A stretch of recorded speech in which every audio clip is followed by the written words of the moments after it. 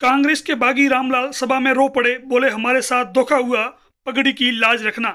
Jalore seat से Congress party की प्रत्याशी रमीला मेघवाल को बाहरी बताकर एक हुए पूर्व विधायक रामलाल मेघवाल और 2018 की प्रत्याशी मंजू मेघवाल ने सोमवार को खुलेआम बगावत कर दी। दोनों ने समर्थन के साथ पहुंचकर पूर्व विधायक रामलाल मेघवाल के निर्दलीय नामांकन कर दिया। नामांकन से पहले पंचायत समिति के पास सभा का आयोजन किया गया। इस सभा में दोनों ने इशारों इशारों में कांग्रेस के स्थानीय नेता व सीएम के करीबी पुखराज पारासर पर टिकट कटवाने के आरोप लगाए। रामलाल मेघवाल ने कहा कि यहाँ के नेता को पता था कि स्थानीय दावेदार को टिकट देंगे तो चुनाव जीतेंगे, इसलिए टिकट काट कर मेरे साथ धोखा हो गया। इतना कहने के बाद रामलाल भावुक हो गए और रोने लग गए। उन्होंने कहा कि मैं कांग्रेस से बागी नहीं हुआ हूँ, कांग्रेस मेरे से बागी हुई है। मैं कांग्रेस हूँ और कांग्रेस में रहूँगा। अब बिसोलियों की राजनीति खत्म करनी होगी, इसलिए चुनाव लड़ रहा हूँ।